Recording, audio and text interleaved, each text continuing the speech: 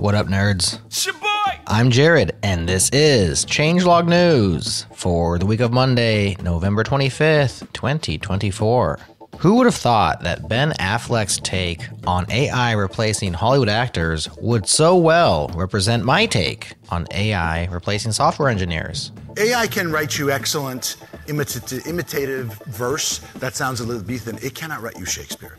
The function of having two actors or three or four actors in a room and the taste to discern and construct that is something that currently entirely eludes AI's capability and I think will for a meaningful period of time. What AI is going to do is going to disintermediate the more Well said, Ben.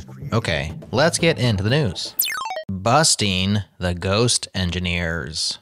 From ghost jobs to ghost engineers, is our industry haunted? Here's Stanford researcher Yegor Denisov Blanch. Quote, I'm at Stanford and I research software engineering productivity. We have data on the performance of greater than 50,000 engineers from hundreds of companies. About 9.5% of software engineers do virtually nothing. How do we know 9.5% of software engineers are ghosts? Our model quantifies productivity by analyzing source code from private Git repos, simulating a panel of 10 experts evaluating each commit across multiple dimensions.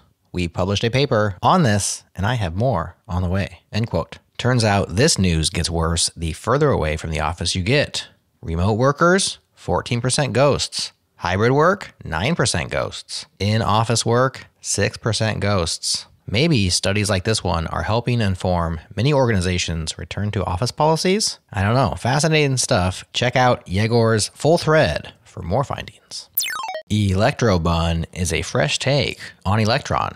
This ambitious but just getting started project aims to be a complete solution in a box for building, updating, and shipping ultra fast, tiny, and cross platform desktop applications written in TypeScript. It uses Bun to execute the main process and has native OS bindings written in Zig. The end result is small app bundles, about 12 megabytes, even smaller app updates using BSDiff, and everything you need in one tightly integrated workflow. But Quote, Electrobun is in the very early stages. We currently only support development on ARM Macs. It has memory leaks, has no tests, is not available in NPM yet, and many core things are still missing. End quote. If this is attractive to you, now is a good time to start the repo for later or hop in and start contributing. Handling cookies is a minefield. April King opens this deep dive with an all too familiar phrase. Quote, I had been more than content to ignore the vagaries of how cookies function until the end of time, except that one day I stumbled across this innocuous piece of JavaScript. End quote. You probably want the meat of her post too, but I'll jump to the end for the why this matters part. Quote, when I first discovered this in the real world, it was only through sheer luck that it wasn't a catastrophe. A manual tester was playing around with a third party library update and had run into a strange set of errors on our testing site. Without bringing it to my attention, this update, doing something unlikely to be caught in an automated test, would have certainly been pushed to production. As a result, every future website visitor would have received a broken cookie and been locked out with an unscrutable error until the update was reverted and the cookies were cleared out. And that's exactly the problem with this specification ambiguity. It's such an easy mistake to make that millions of websites and companies are only an intern away from a complete meltdown.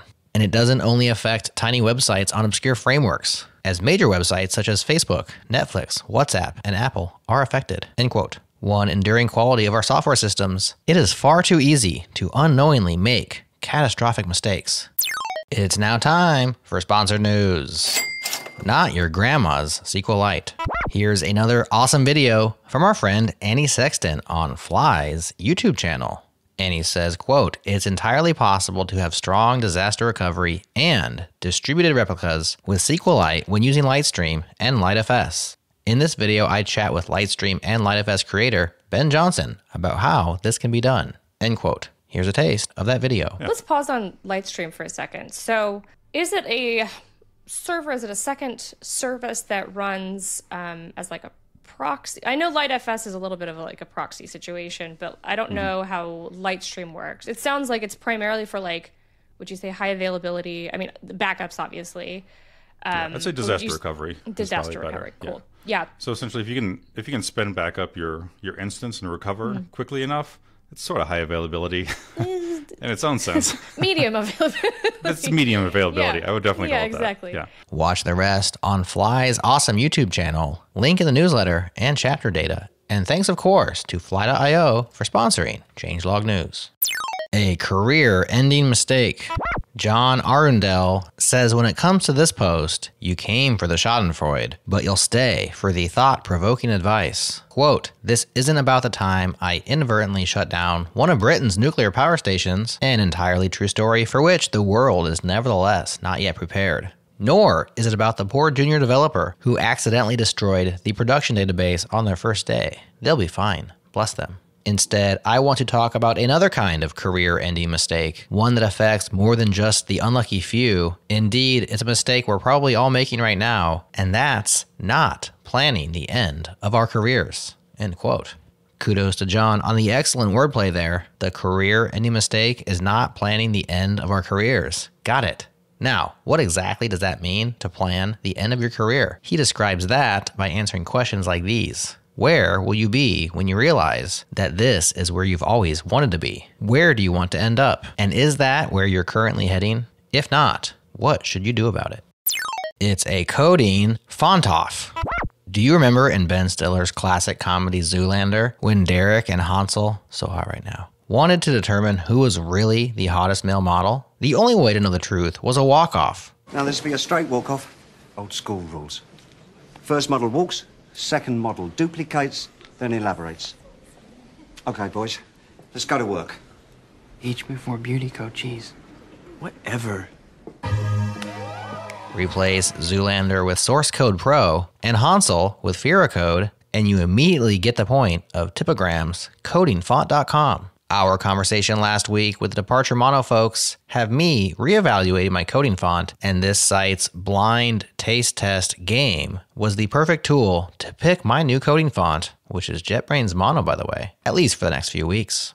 That's the news for now, but do scan our companion changelog newsletter for even more stories worth your attention, such as a Marble Madness inspired WebGL game, a website hosted entirely on Bluesky, and our world famous order list of additional links. Get the newsletter at changelog.com slash news. So hot right now. Have yourself a great week. Leave us a five star review if you're thankful for our shows, and I'll talk to you again real soon.